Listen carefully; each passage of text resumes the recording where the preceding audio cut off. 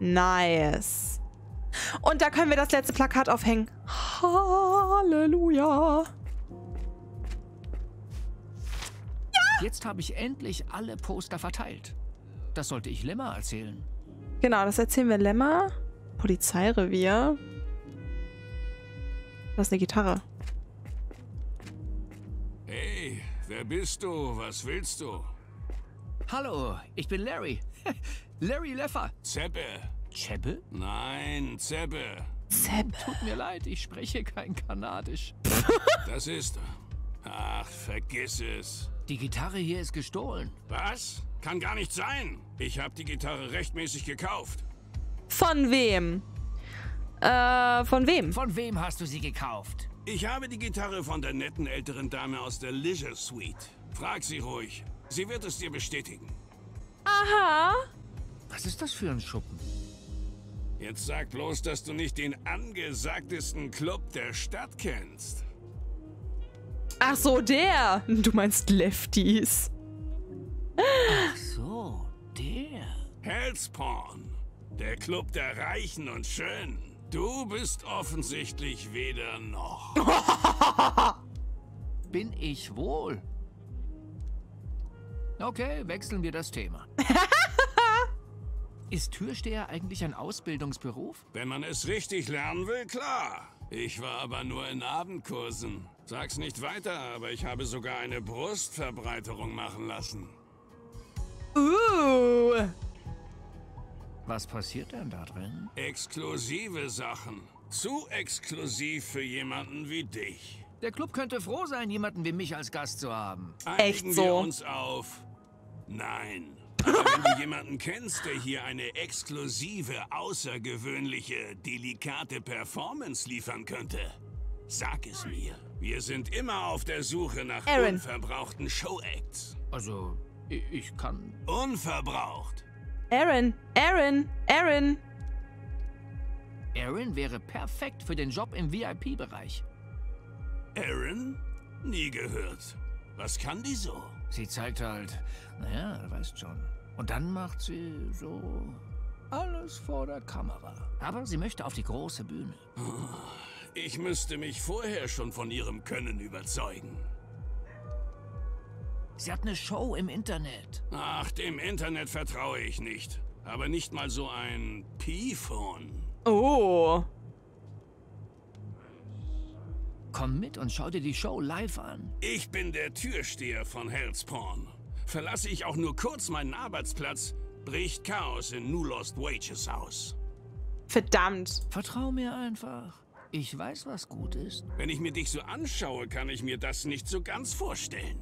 Besorge mir einfach irgendwas, damit ich sehen kann, was sie bietet. Am besten wäre eine Kostprobe ihrer Show. Dann holen wir uns jetzt Aaron her. Ich komme später. So, wir kommen später wieder. Jetzt holen wir uns Aaron.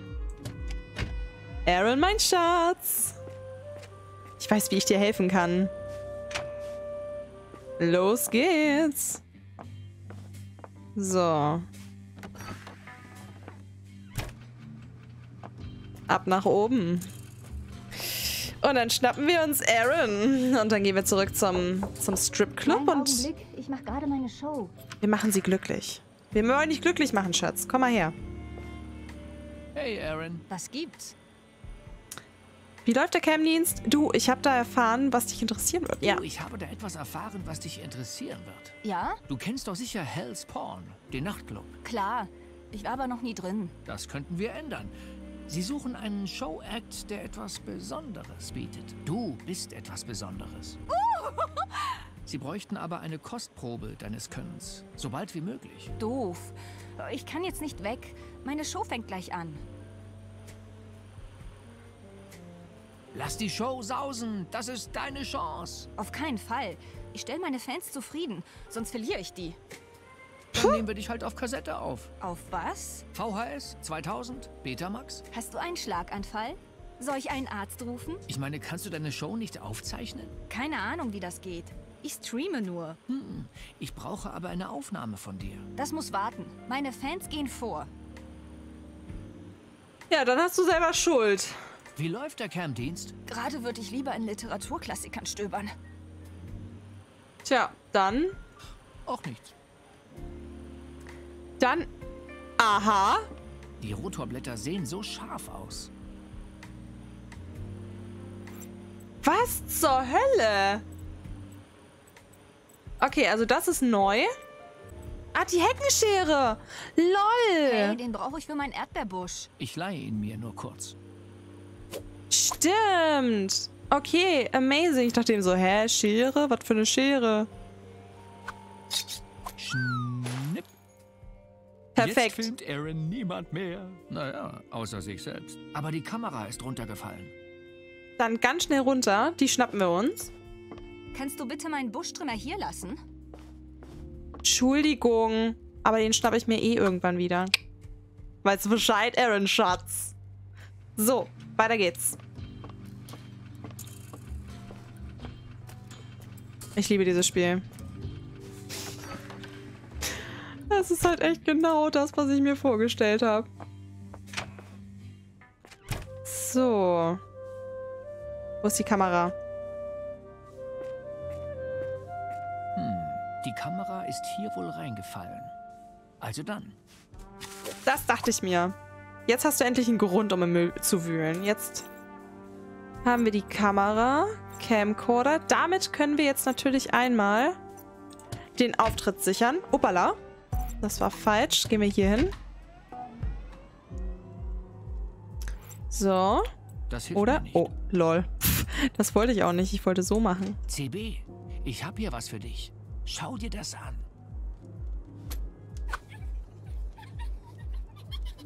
Nicht schlecht. Die kann was.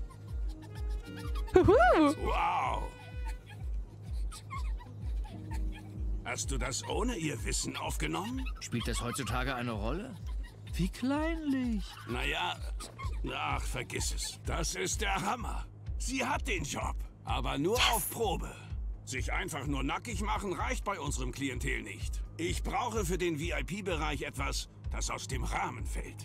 Etwas mit Pfiff und Intelligenz. Sie kann nachher auftreten, aber sie muss in ihrer Show noch ein außergewöhnliches Element bieten. Wenn sie das hinbekommt, erhält sie einen festen Platz im VIP-Bereich. Ich red noch mal mit ihr. Aaron hat sicher eine gute Idee. Oha. Oh Gott, da ist eine Ratte. Da war ein Ich Ballon. glaube, die würde mich beißen.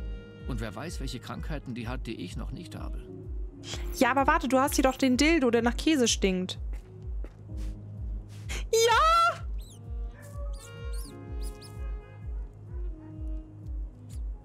Aha. Der Dildo scheint sie sehr zu locken, aber das hilft mir so nicht, sie zu fangen.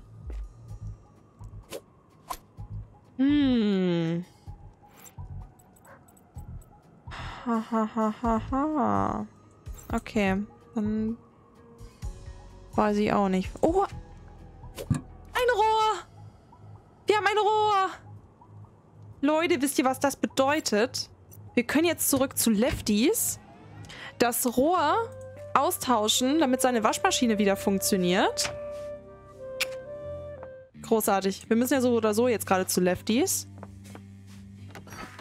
Wir kommen voran. Wir kommen voran. So, das Rohr hier da rein. Ja. So, nun sollte das Rohr wieder tun, wofür Rohre da sind. So, dann Hebel. Dann Ventil. Und Hebel. Ja, beim ersten Versuch direkt funktioniert. Genau wie beim Sex. also, meistens. Ich sollte erstmal Lefty Bescheid geben, dass die Brauerei wieder läuft. Ja. Oh, großartig. Wir kommen voran. Wir sind eben richtig gut darin, Rohre zu verlegen. Amazing. Operation Brauerei abgeschlossen. Sehr gut. Ich muss zugeben, dass ich dir das nicht zugetraut hätte. Äh, Das ist schließlich etwas Handwerkliches. Allerdings muss ich die Rezeptur verändern. Äh, Angeblich haben ein paar Leute Durchfall vom alten Barbarenbräu bekommen. Nein. Was? Äh, Hier das Rezept. Diese Sachen brauche ich dafür. Wäre klasse, wenn du mir die Zutaten für das neue und verbesserte Barbarenboy bringen könntest, Larry. Ich schau mal, was ich auftreiben kann. Ach, äh, und Larry, wenn du willst, kannst du gerne die Brauerei benutzen, solange sie außer Betrieb ist. Ich habe alles automatisiert. Du wirfst einfach die Zutaten rein und dann kann ich hier den Drink abfüllen. Ähm, ich komme vielleicht drauf zurück. Wait, what? Das lässt sich nicht kombinieren. Ich würde aber gerne wissen, was ich dafür brauche. Ich kann ja nicht sehen, was das für ein Rezept ist, oder? Die Zutaten, die ich Lefty besorgen soll. Etwas, um den Geschmack und den Duft des Bieres zu verstärken. Etwas, um das Bier zu einem richtigen Kraftstoff zu machen. Etwas Natürliches mit vitalisierendem Effekt.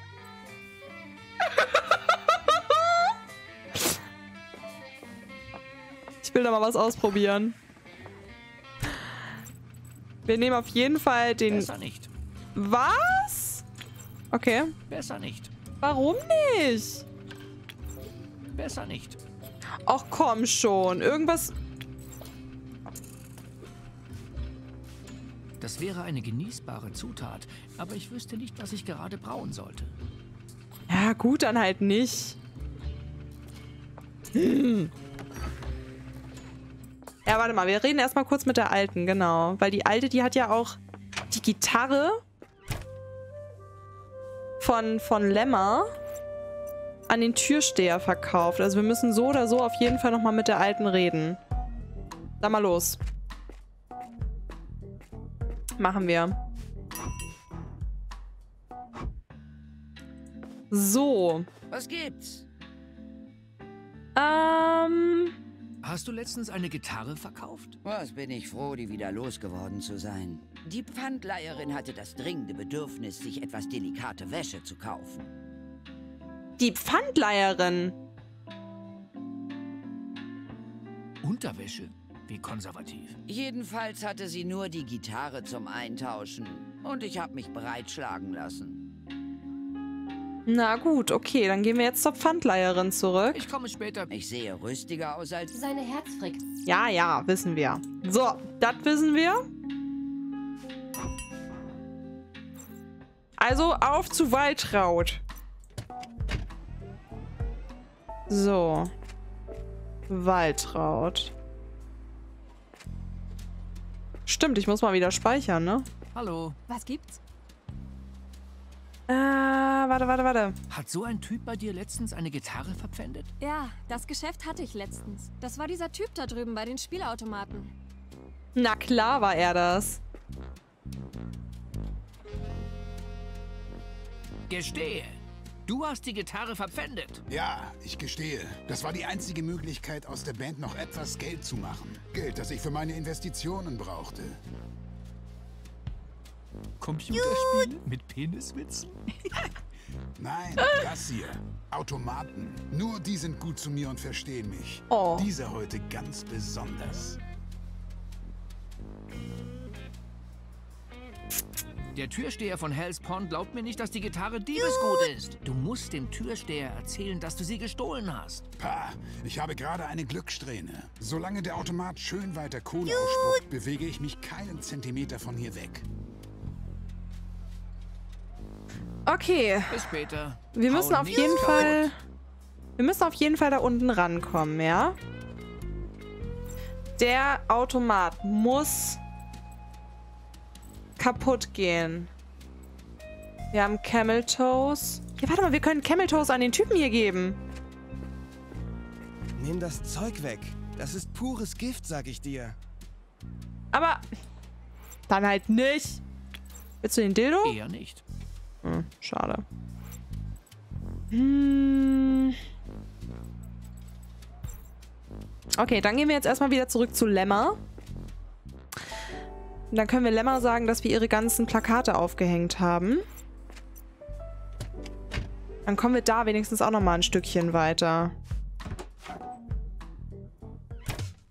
Ja, ja, der Dildo und ich. Was wir sind ein gibt's? gutes Gespann. Ich habe alle Plakate aufgehängt. Großartig. Vielen Dank. Kommen wir jetzt zum Sex? Hm? Dir hab ich wohl richtig Lust gemacht. Oh ja. Ah, gedulde dich noch ein wenig, bis der Gig hinter mir liegt. Ah, gut, okay. Ich habe deine Gitarre gefunden. Du hast sie? Nein, so ein Typ hat sie anscheinend gekauft und glaubt nicht, dass sie gestohlen wurde. Was? Dann musst du diesen Kerl vom Gegenteil überzeugen. Okay, ich überleg mir was. Ah, na Bis gut. nachher. Na gut, na gut, na gut. Hier kommen wir auch nicht mehr so weit weiter. Hm? Was ist das da? Hey, Finger weg. Das ist das teuerste Stück im ganzen Laden. Und unverkäuflich. Das ist doch nur ein Lappen. Nein, es ist das Grabtuch. Das Grabtuch von Urin. Vom Urin? Okay, ich nehme es für drei Dollar. Bist du schwerhörig? Unverkäuflich. Warum? Was macht es besonders? Es ist das Laken, mit dem Freddy Quicksilver begraben wurde.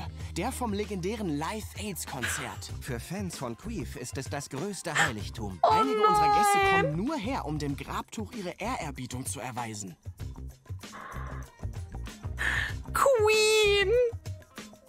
Queef haben sich aufgelöst? Nein, sie suchen seit 25 Jahren einen neuen Sänger. Aber so einen finden sie nie Oh. wieder. Und seitdem sind die echt Mainstream geworden. Ja, so richtig ernst kann man die nicht mehr nehmen. Früher waren die noch Underground. Aber heute, Würdet ihr das Grabtuch gegen etwas eintauschen? Hm. Ich kann mir nur eins vorstellen, was uns mehr wert wäre als das Grabtuch von Urin. ich auch. Eine Polaroid. Was ist das denn? Die streng limitierte Vintage-Kamera von Prune, von der es nur ganz wenige Exemplare gibt. Die druckt direkt ein Foto aus und speichert es gar nicht digital ab. Jedes Foto ein Unikat. Die Bildqualität ist retromäßig total mies.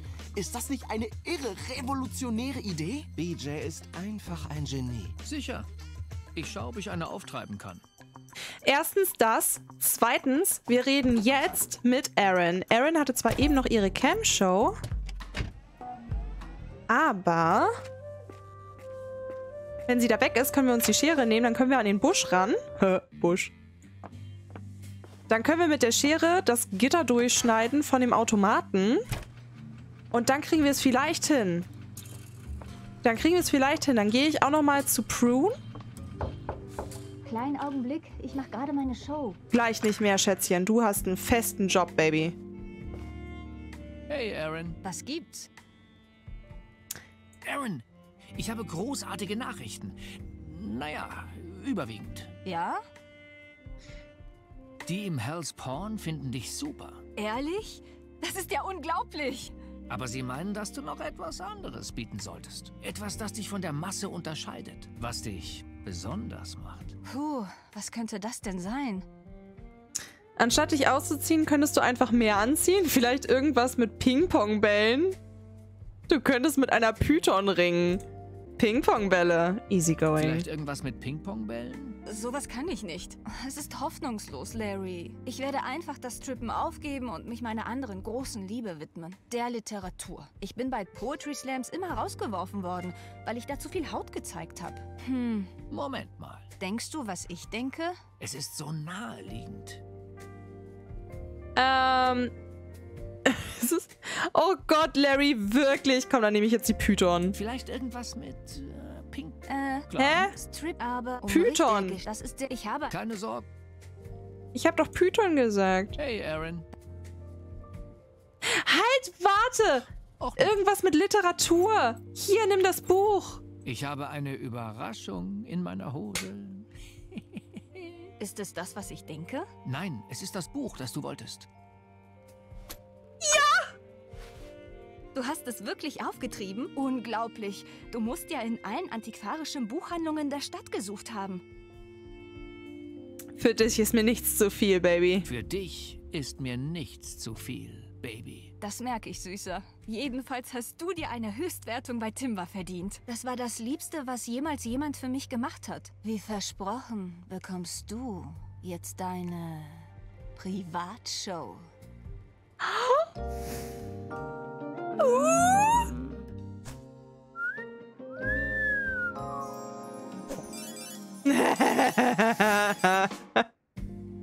Danke, Larry. Wir sehen uns dann nachher im Hell's Porn zu meiner Show. Pi, das muss jetzt aber ein Quantensprung bei den Timberpunkten sein, na? Na? Du hast 19 Timber-Punkte. Das ist vermutlich abgerundet. Nein, aufgerundet. Genau genommen ist deine Punktzahl 18,708. Schon gut. Hey, kannst du Faith vielleicht eine Nachricht schicken, dass sie schon mal Platz in ihrem Terminkalender schaffen soll? Ich kann sie nicht kontaktieren. Niemand kann das. Sie wird noch früh genug von mir hören. Larry, du hast neue Vorschläge bei Timber. Oh, gleich schauen. Let's go. Neue Timber-Vorschläge. I like. So. 19 Punkte haben wir. Den haben wir auch schon. Die Virginia Sisters. Natürlich. Eine Sache an uns ist eineigig. Die will ich.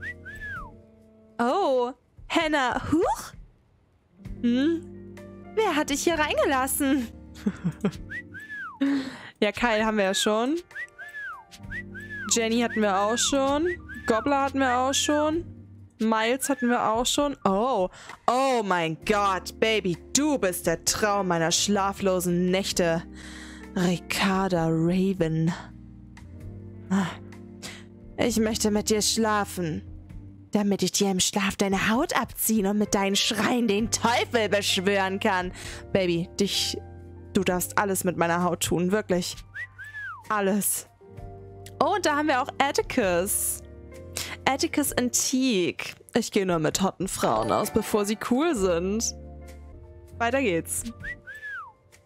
Samantha Smooth. Habe keine Kohle für einen Vibrator. Da sind wir nun. Okay, alles klar. Ich kann dir helfen, Baby. Ich kann dir helfen. Reinhold hatten wir schon. Duffus! Oh mein Gott, der sieht aus wie der eine aus, aus Deponia. Der sieht aus wie Deponia. Suche Liebe in der Müllhalde des Lebens. In der Müllhalde des Lebens. Oh mein Gott, sowas von Deponia. Deponia. Oh gosh. Oh gosh. Oh gosh. Wenn man erstmal dieses Ad lesen würde, ne, dann, dann kommt man vielleicht irgendwann nochmal drauf. Oh Gott, Rufus. Na gut, wen hatten wir hier noch nicht? Frieda Feucht. Die Naschi-Omi. Suche nicht nach einer Beziehung, bin eh bald weg. die ist realistisch, die Frau. Petra hatten wir schon. Oh, das ist Steven. Steven aus dem äh, Mucki-Studio. Breit gebaut, braun gebrannt, 100 Kilo Handelbank. Boss Transformation. Oh ja, oh ja, oh ja. Muss mal ein paar mehr Smoothie nehmen vielleicht. Oh, Sally Slippery. Babe Watch. Mhm. Monzo ist für Anfänger. Okay. Ich glaube, damit hatten wir jetzt alle, ne? Genau, die kennen wir alle schon. Oh mein Gott, ist das großartig. Es ist so großartig. Warum haben wir noch keine weiteren Matches? Ich meine, wir sind großartig, ja. Wir sind richtig großartig. Also ich finde schon, dass ich gerade ziemlich gut vorankomme. Es fühlt sich zumindest ganz gut an. So, was nun? Genau, Aaron geht dann zum Dings. Ist sie dann jetzt weg? Kleinen Augenblick. Nee, sie ist immer noch da. Okay, das ist doof. Das heißt, wir kommen immer noch nicht an die Schere ran. Ich habe gehofft, wir kommen an die Schere ran und sie dann weg ist. Wir gehen jetzt erstmal in das große Gebäude, das aussieht wie ein abspritzender Penis. Mit dem Vagina-Logo. Ich liebe es einfach, ja. Und dann gucken wir mal, dass wir eine von diesen Polaroid-Kameras bekommen. Hey, nur anschauen, nicht anfassen. Oh, Flashback. Aber ich brauche eine. Ich brauche eine. Wait, das Game ist erlaubt auf Twitch? Oh ja, it is. It absolutely is. Und deswegen nutzen wir es auch voll aus. Also okay, wir haben einen nach Käse riechenden Dildo. Den haben wir auch immer noch nicht irgendwie... Ah, was mache ich denn mit denen? Kann ich denen irgendwie die abgelaufene Soja das ist geben? Keine gute Idee. Keine gute Idee, okay. Wie wär's mit einem Buttplug? Eher nicht. Auch nicht? Ah, Liebe, Lust und Zweideutigkeit. Ja, genau. Okay, da kommen wir also nicht weiter. Ein Dann- Unter kann nur auf der Straße gerufen werden. Ja!